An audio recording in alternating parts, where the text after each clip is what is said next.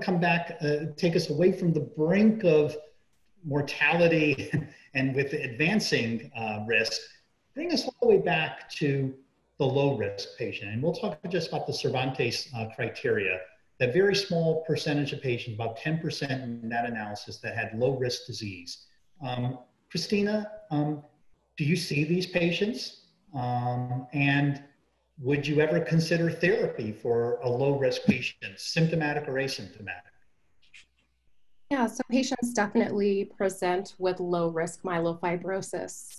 And in those patients, this is where we're really assessing are they associated with a symptom burden? And so, in those patients that have low risk disease by the DIPSS or the, the MIPSS 70, um, these kind of more sophisticated prognostication tools, um, but they still have a significant symptom burden. Those are patients that we can consider intervening. Um, I recently worked uh, with the CIBMTR and uh, a group of academic centers looking at the role of stem cell transplantation. And interestingly, there was a even a group within that analysis with low risk disease that actually proceeded to stem cell transplantation. And so I, I think that uh, some physicians would say that for the treatment of myelofibrosis, the only true curative measure is allogeneic stem cell transplantation.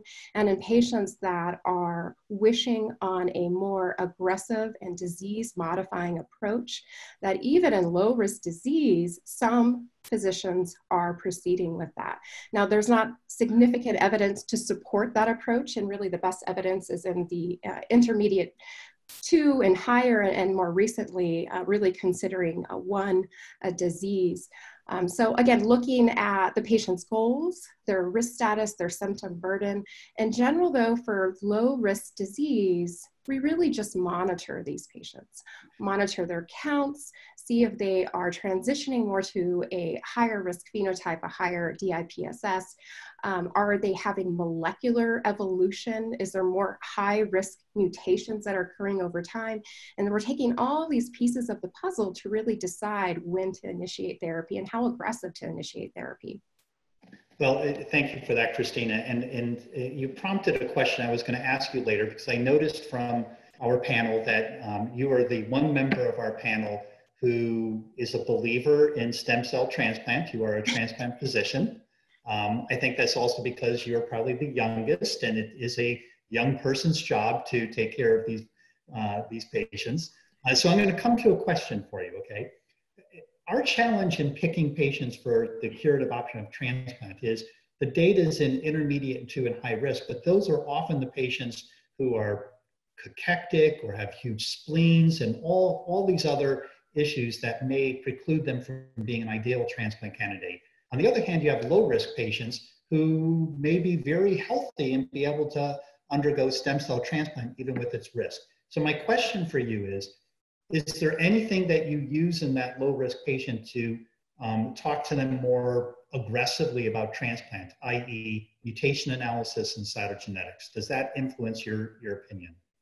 Absolutely. And so, and that's a, a really great question. And so, um, again, we're using these molecular characteristics to really help guide. Uh, we know that there are particular high risk phenotypes within myelofibrosis, particularly the triple neg negative patients, the CALR, um, uh, JAK-V617F, as well as MPL, all negative, as well as ASXL1. Uh, these are extremely high risk um, phenotypes, uh, genotypes that can uh, certainly have a higher risk of transformation uh, to acute myeloid leukemia down the line. And so the idea of intervening when patients are a bit younger, a bit more robust with higher performance status, fewer comorbidities, less splenomegaly, less cytopenias, it, it certainly um, is uh, attractive for, for, a diet, for a conversation with the patient. Um, there are certain approaches. And so for patients that are developing more splenomegaly, certainly we can use ruxolitinib as a, a bridge, so to speak, for controlling the, the splenomegaly, the symptoms, um, before we take them to allogeneic stem cell transplant. But again, this is, this is such an institutional approach. And so every institution, every academic center for transplant will have a different approach and a different discussion. Um, and uh, I think that it, it's as a community, we're really moving towards an earlier discussion. And for community physicians, I would like to impart the importance of early academic referral.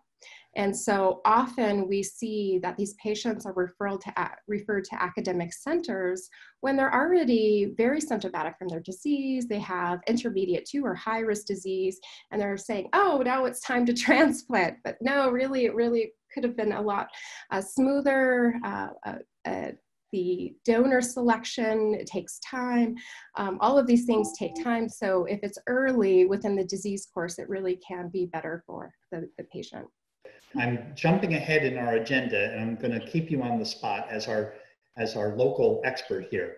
So um, let's say you have a patient, um, a, a, a, myelofibrosis patient.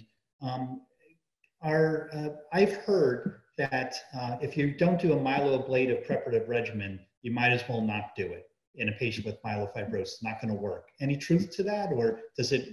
How do you select the preparative regimen? Well, uh, I'd like to clarify, I'm not an allogeneic stem cell transplanter. so I, I close I, enough, close enough. I have done, you know, some some research in this area, and so in general, this is again a very polarizing issue within the transplant community, and there is not significant data that would sway to myeloablative versus reduced intensity conditioning, and this is again an institutional uh, preference, and so um, you know, I think this is really needs to be looked at in the literature. I, I think that we it's a challenge because myelofibrosis is a rare disease, and to do prospective analysis and this is very difficult. Um, so I don't know if we'll will ever really achieve that. So continued, you know, look at this retrospective analysis, um, I, I, think will help move the ball forward. But to answer your question, is really it's it's polarizing and uh, it's controversial.